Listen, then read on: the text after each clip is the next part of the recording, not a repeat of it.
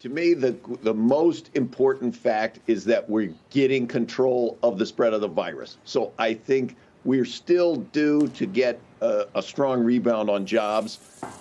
This number's okay. We want it to be higher. Uh, you know, it's it's it's weird that we're viewing 550,000 numbers as m- modestly better. Um, That's because of the depth of how quickly the jobs dropped the states, off seeing this, there are a series of states that are cutting off the the unemployment payments. So if your view is that as that runs off, that makes a big difference. You should probably start seeing the the comeback to to the workforce. And the fact that there are so many job vacancies, I think, is great. I think you're going to see wages go up strongly. I think the job market is is going to continue to improve.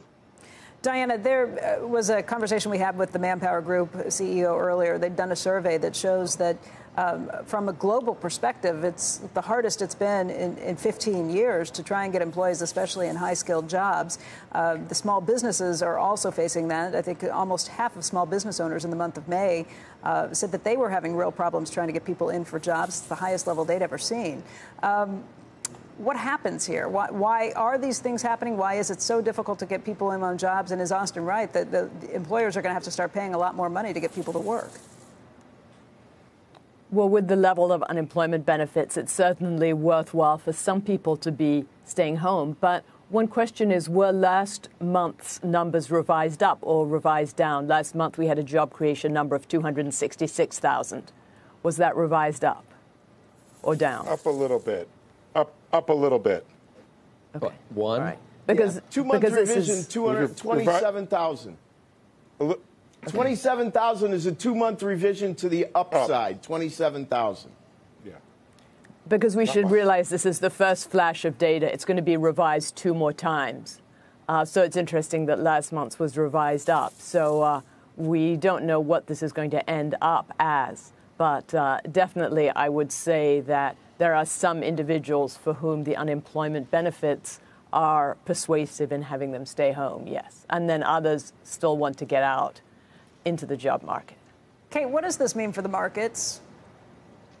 Yeah, I think we're kind of in a sweet spot here. I was saying that, you know, kind of between 500,000 and a million is a continuation of current uh, this current situation. The expectation that Fed will start talking about tapering.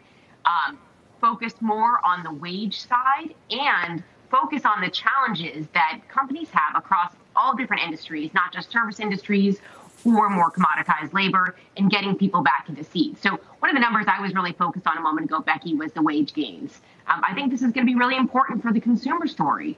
And it's going to be really important as we think about corporate margins in the back half of 2021 and in through 2022. Well, that's what I was going to ask you. What does this mean for margins? Because when wage uh, gains go in, it, they tend to be pretty sticky. It's, it's hard to say that we're going to temporarily give you these gains and they're going away in three months. Um, right now, corporations have, have had pretty wide margins. Do you think that continues?